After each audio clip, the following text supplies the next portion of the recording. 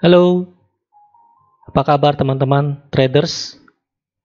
Senang berjumpa Anda kembali dalam YouTube channel ini.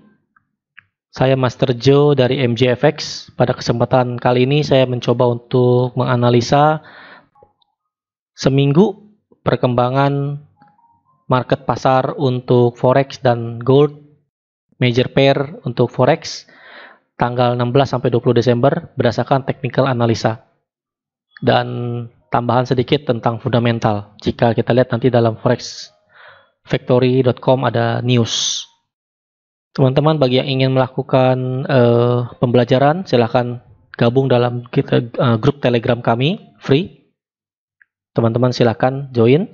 Kemudian kalau mau bertanya mengenai forex dan se sekitar seputar gold silahkan kontak japri saya di WhatsApp Jangan lupa teman-teman ada kita juga ada Instagram mjfx.trading.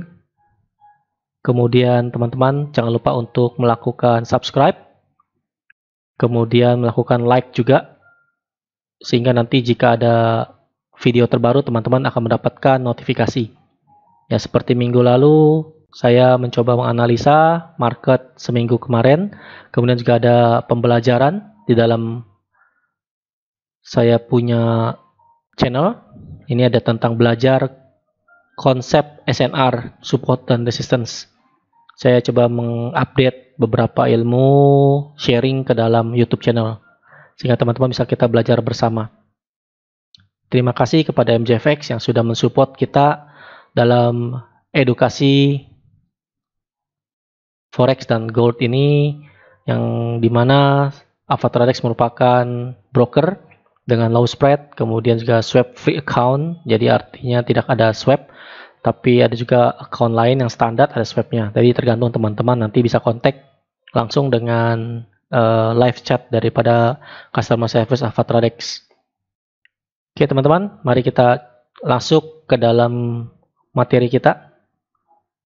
Minggu lalu saya sudah share mengenai Euro USD major pair. Waktu itu kita melihat di tanggal 5 Desember dan 6 Desember itu ada dua candle yang kita secara analisa teknikal dinyatakan sebagai bearish engulfing.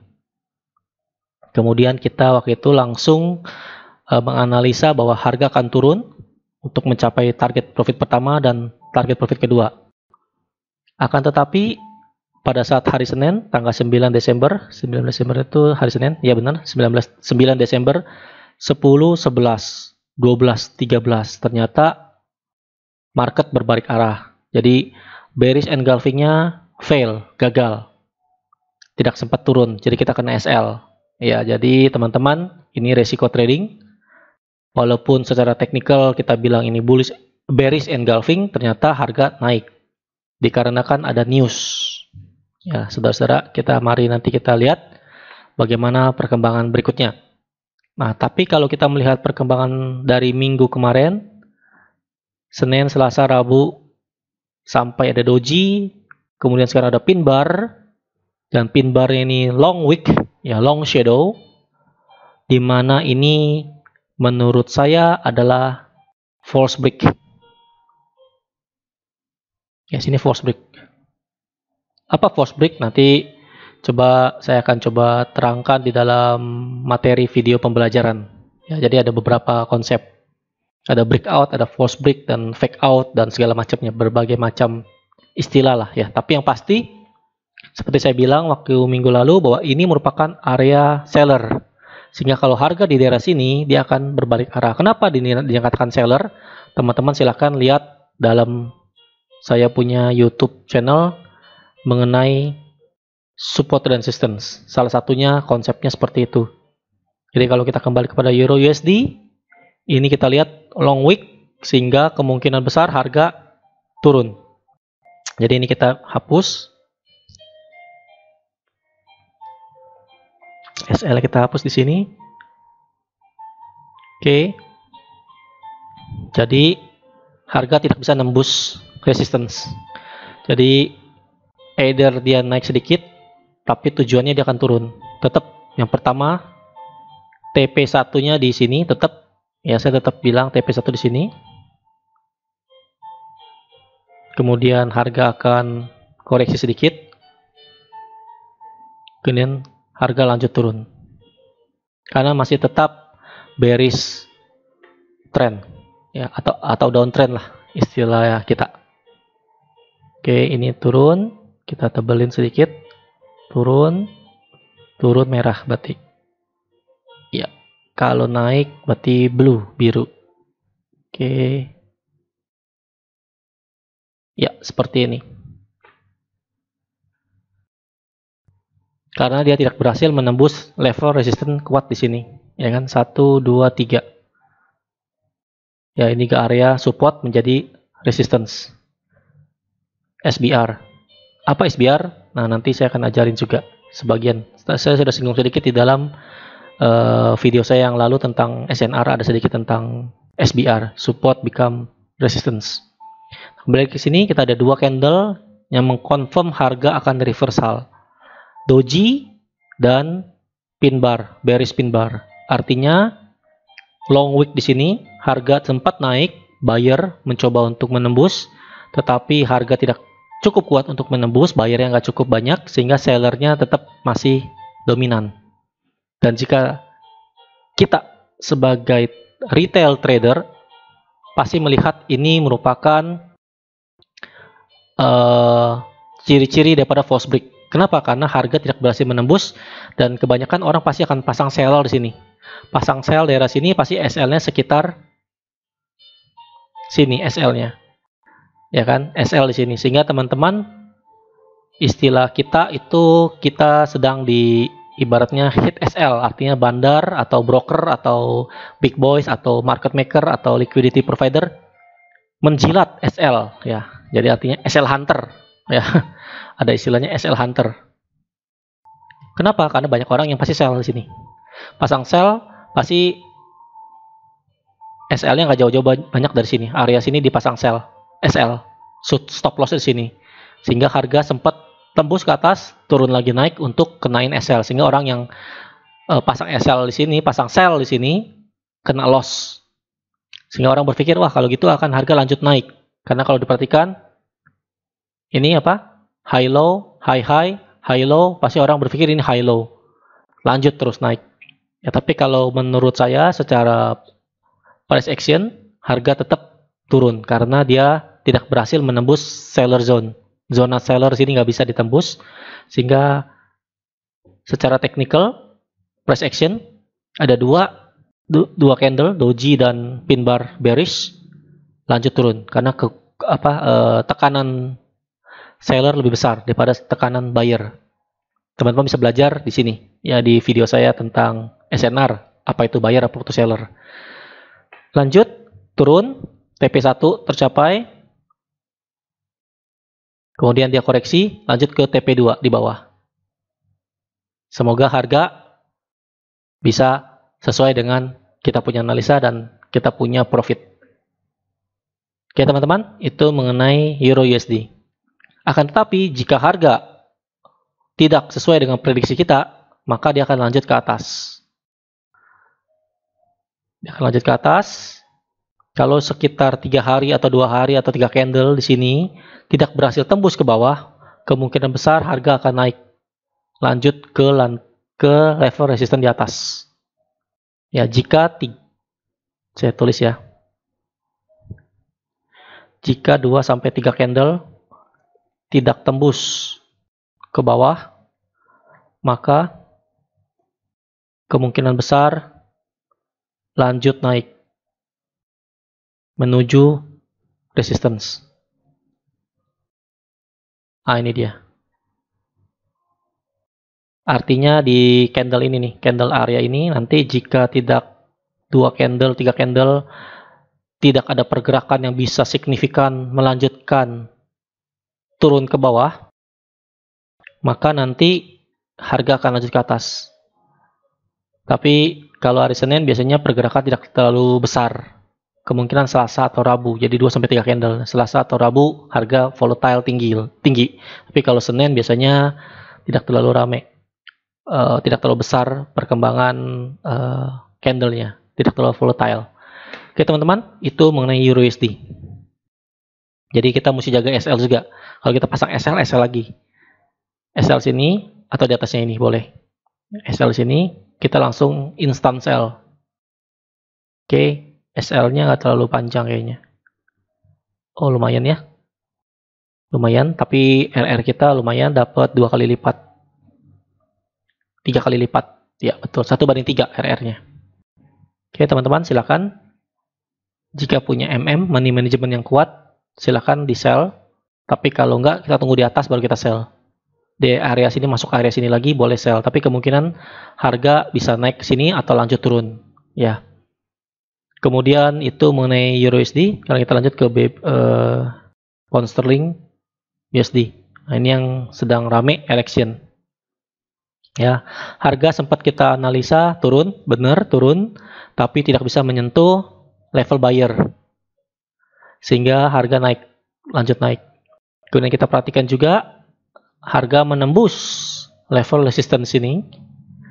Dan kalau kita lihat candle di sini merupakan candle yang mempunyai panjang setengah, setengah wick, setengah setengah body, setengah wick. Jadi ini kekuatan seller sama bayarnya seimbang. Ya, jadi kemungkinan besar akan sideway. Mungkin Senin sideway, Selasa koreksi turun. Tetap targetnya ke bawah. Ke level support ini. Kenapa? Karena dia sudah retest. Dia sudah retest atasnya, kemudian dia retest bawah lagi. Dia coba retest di ini. Jadi ini menjadi resistant become support RBS. Ya, ini semoga uh, harga retest dulu ke bawah sebelum dia lanjut naik ke atas. Kalau misalnya kondisi politik daripada UK atau London itu sesuai dengan prediksi mereka bagaimana hasil pemilu yang dimenangkan oleh Boris ya Bojo PM Bojo selanjutnya mereka akan keluar dari Brexit tanggal 31 Januari 2020 menurut mereka. Jadi kalau kita bilang ini menjadi RBS resistant become support ini dia akan retest daerah sini. Ini daily ya teman-teman ya, daily teman eh, daily TF daily. Jadi sehingga ini nggak langsung instan turun.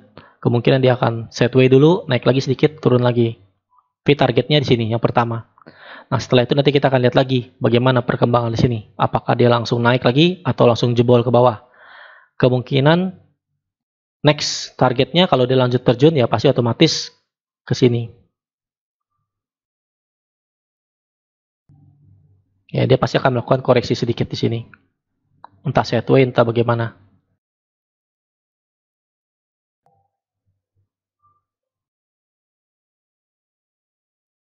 Sebelum lanjutin turun.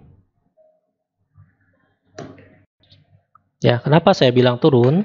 Karena secara weekly sudah uh, mentok di level resistennya. Oke, satu, dua, tiga. Ya, ini sudah tiga channel, sudah tiga level. Sehingga kemungkinan besar harga akan turun. Koreksi ke area sini. Kalau pakai Fibo, area 50 sampai 61. Target ya. Kenapa? Karena kalau kita lihat secara weekly, dia sudah in balance. Ya, satu, dua, tiga. Oke, teman-teman itu mengenai GBP USD. Kemudian berikutnya kita lihat AUD USD. AUSD sesuai dengan prediksi naik ke seller zone pas sempurna ya. Minggu lalu kita bilang dia akan naik ke atas. Kemudian kena seller zone. Diperhatikan lagi ini udah satu dua, udah ada kena support become resistance. SBR di sini. Kemudian harga engulfing. Coba kita perhatikan. Engulfing. Ya, engulfing sehingga targetnya adalah turun. Ini sesuai target. Jadi kita sudah benar minggu lalu. Tinggal lanjut turun ke bawah. TP1 di sini. Kemudian TP2 di sini. Ya, TP1. Sini TP2. Nah, ini TP3. bawahnya. Ya, teman-teman, semoga benar analisa kita. Yang pasti dia akan koreksi dulu, entah sideways, entah koreksi. Lanjut ke sini. Lalu koreksi lagi. Lanjut lagi turun. Ya, seperti itu. Semoga benar analisa kita mengenai technical analisa terhadap uh, Australia US dollar AUD. Berikutnya gold XAU USD. Ya, XAU USD kita analisa turun tapi dia ternyata sideways ranging di dalam candlestick ini. Jadi masih inside bar. Coba kita perhatikan. Ini inside bar selama seminggu sideways. Naik ya, hari Kamis ya ini kalau nggak salah ya. Hari Kamis terbang langsung terjun lagi. Ya kan itu pasti untuk jilat SL ya, biasa manipulasi. Jadi kita tetap bertahan bahwa gold targetnya naik. Kalau dia nggak sempat tembus ke bawah, dia akan lanjut naik ke atas. Walaupun ada berita masalah trade war yang sudah sedikit mereda katanya mau dibatalin penaikan tarif tanggal 15 Desember tapi dengan syarat tertentu berarti besok ya. Katanya besok nih. Eh hari ini ya 15 ya 15 Desember katanya mau dinaikin tarif. Tapi belum ada kabar. Ya kalau itu biasanya terjadi volatile. Ya, tapi kita lihat Senin apakah ada gap, gap up atau gap down. Oke. Okay. Nah teman-teman kalau nggak ngerti gap, nanti kita coba belajar bersama-sama di video-video berikutnya atau bisa tanya Japri atau di dalam Telegram, di dalam grup Telegram. Ya jadi target saya audio USD tetap naik mencapai resisten di atas karena dia sudah menyentuh satu dua dua kali ini menjadi RBS resisten become support satu dua Ya udah dua kali resisten dicoba ditembus nggak berhasil dan bermain di daerah sini, kemungkinan besar harga akan naik karena secara weekly ya betul. Ranging ya kan? Masih inside bar semua. 1 2 3 4 5 ya sebulan lebih 5 minggu kita digocek ya. 5 minggu dibikin way terus. Enggak tapi dia harga nggak bisa tembus ke candle yang ini candle weekly yang ini. Bearish ini. Sehingga targetnya walaupun dia engulfing dia nggak bisa jebol. Jadi kemungkinan engulfingnya gagal. Jadi target dia tetap terbang ke atas. Nah ini secara weekly. Nah itu saya belajar atau menganalisa berdasarkan price action. Jadi nggak usah pakai indikator. Belajar membaca bagaimana perkembangan pasar. Ada lagi ini rally base rally. Ya jadi kemungkinan besar harga akan terbang apa itu rally based rally? Yaitu level advance nanti teman-teman bisa uh, cari-cari di Google apa artinya rally based rally. Kayak ini drop based drop, ya kan? Lanjut turun. Ini rally based rally hajar. Ini engulfingnya nggak nggak sukses.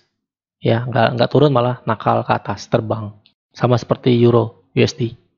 Oke teman-teman, mari kita lihat perkembangan seminggu ke depan. Tapi jangan lupa ini sudah mau akhir minggu-minggu terakhir, minggu ketiga, minggu keempat, minggu depan, minggu kelima. Ini libur nih, biasanya dari tanggal 20 sampai bablas tanggal 3, 5, 6 Januari. Jadi tanggal 30 23 biasanya sih ya, 23 Desember sampai 6 Desember 6 Januari itu perkembangan pasar itu sangat slow karena banyak yang holiday yang kan sudah mau Christmas. Mungkin minggu ini pun sudah mulai terakhir-terakhir orang trading. Ya sampai tanggal 19 sampai tanggal 20 setelah itu mereka stop. Mereka take holiday Christmas dan tahun baruan sampai next year tahun depan tanggal 6 Desember. Hati-hati sekedar mengingatkan apa yang terjadi dengan yen di tanggal 3 Januari. Ya sempat flash clash ya. USD JPY kita lihat sejarahnya 3 Januari Ya kan? 3 Januari hati-hati. Semua JPY terbang atau turun. JPY-nya menguat. Sehingga AUD JPY, NZD JPY CAT JPY, ya, GBP JPY, Euro JPY, segala macam itu terefek di sini, hati-hati. Sehingga kalau bisa saran saya di akhir tahun ini dari tanggal 30 Desember sampai tanggal 6 Desember dijaga kalau yang masih floating di locking atau di close atau kalau bisa jangan trading dulu. Kita mulai trading setelah tanggal 6, tanggal 7 lebih aman. Jadi minggu ini minggu terakhir trading. Ya tanggal 23 sampai 27 itu biasanya pergerakan pasar slow karena sudah banyak yang holiday tanggal 25 Christmas. Jadi 2 3 sampai 6 itu slow. Ya. Jadi minggu ini terakhir 15 sampai 20 itu hari terakhir minggu terakhir kita trading. Minggu depan kita nggak trading, minggu depan lagi kita nggak trading sampai Januari tanggal 6 atau tanggal 7 kita baru mulai trading. Kenapa? Karena kalau kita trading percuma juga. Di sini slow-slow pasti. Apalagi Januari awal kan masih holiday. Ya teman-teman, itu uh, dari MJFX. Jangan lupa teman-teman subscribe. Oh ya terakhir ada good news hadiah langsung tanpa diundi periode Januari sampai Maret 2020 dari Alpha Tradex bisa dapat motor, mobil, uh, jam, handphone, jalan-jalan, notebook, Nah, ini tanpa diundi, jadi teman-teman trading berdasarkan lot tertentu dan deposit tertentu dapat langsung dalam periode 3 bulan ini. Berikutnya, good news dari Avatradex, Anda bisa langsung mendapatkan rebate 3 dolar sampai 6 dolar tergantung account. Ya, ini nggak ada batasan periodenya, jadi bisa sampai setahun, dua tahun, sampai broker ini masih ada. Ya, tapi so far so good, saya deposit dan WD sangat cepat. Dan transaksinya pun sesuai dengan pasar. Jadi nggak ada record, amannya gitu. Jadi nggak dikerjain bandar. Ya teman-teman silakan kontak live chat atau bisa scan ini ya segala macam untuk join dan mendapatkan hadiah langsung tanpa diundi. Ya sekian analisa weekly minggu ini untuk tanggal 15 sampai 20 ya, 15 sampai 20 Desember. Semoga benar dan kita profit. Terima kasih untuk teman-teman yang sudah percaya dan menonton video ini. Semoga ini bisa menjadi berkat buat kita semua, dapat profit, dapat ilmu. Jika ada salah kata, mohon dimaafkan. Saya Master Joe dari MJFX mengucapkan terima kasih atas perhatian teman-teman semua. Salam sejahtera, salam profit. Terima kasih.